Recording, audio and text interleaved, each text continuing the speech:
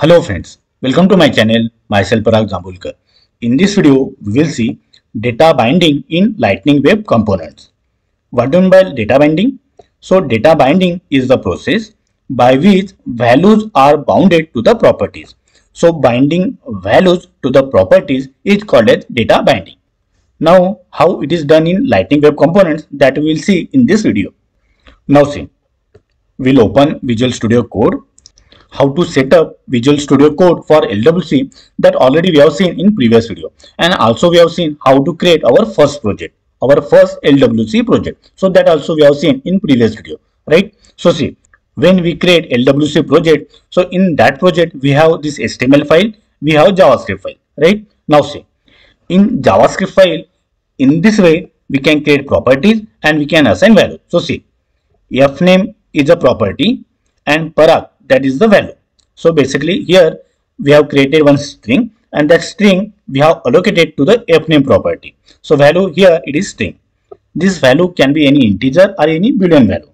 Now see lname is another property and here Jambulkar which is string this value we are binding to property lname right now see so in this way we have created two properties and two values we have allocated to these properties right now see, in HTML file, to access those properties, we have to mention them in curly bracket, right? So see, hello, in curly bracket, we have mentioned f name and in curly bracket, here we have mentioned l name, right? So see, in this case, these values are bounded to this property.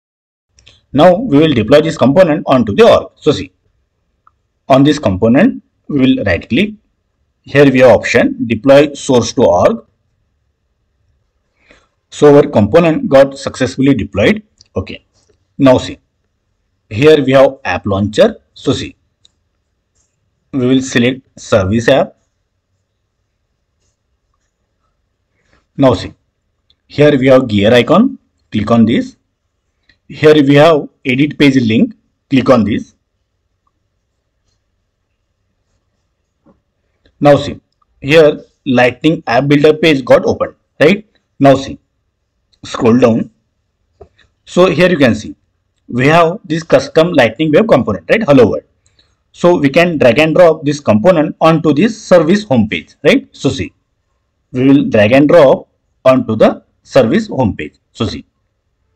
So we have drag and drop this lwc onto this service app right? Now we will click on save. We will click on back button.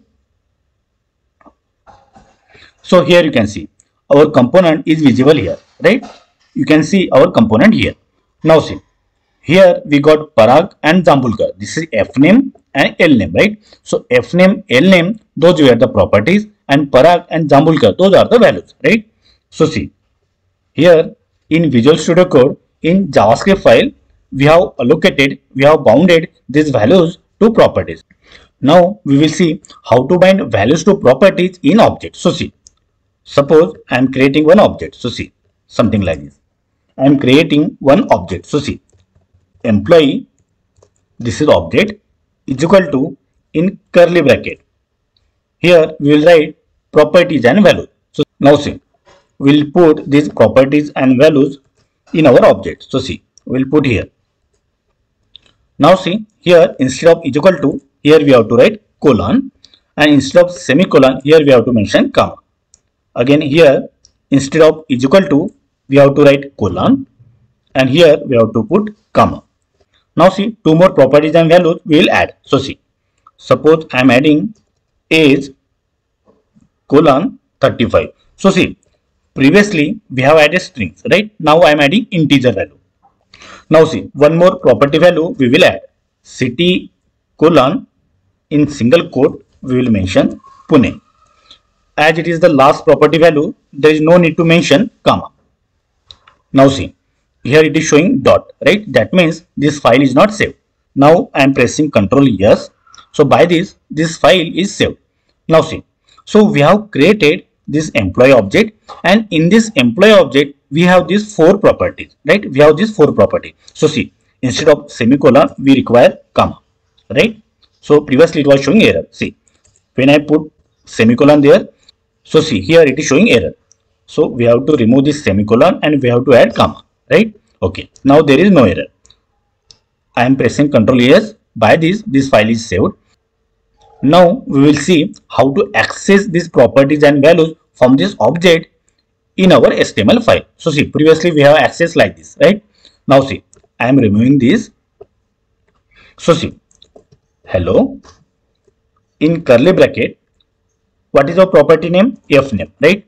Now see, this F name property belongs to employee object, right? So see, here we have to write employee dot, right? Now see, again in curly bracket, employee, this is our object, dot L name, right? So by this we will mention hello Parag Jambulkar, right? Now see, one more we will add. So see, here I am writing age is equal to and here we have to access value, right? So here we will mention employee dot age. One more we will add div city is equal to in curly bracket here we will write employee dot city so see employee dot city so see previously we have not used object right? So in that case directly we can use this property.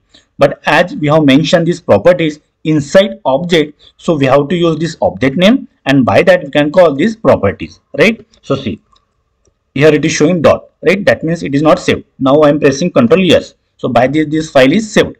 Okay. Now we'll upload this. So see deploy source to org. Okay so our component is successfully deployed. Now see we will refresh this. Now see it is taking time. Again we will refresh it. So here you can see, hello Parag Jambulkar, age 35, city Pune, right? So see, now we are accessing properties from the object, right? So in this way, we can write properties in JavaScript file. We can allocate values to these properties and we can access them in HTML file. So friends, I hope you like this video. If yes, then click on like, subscribe to the channel and don't forget to press bell icon so that you will get notification of my next video. So stay connected. Thank you.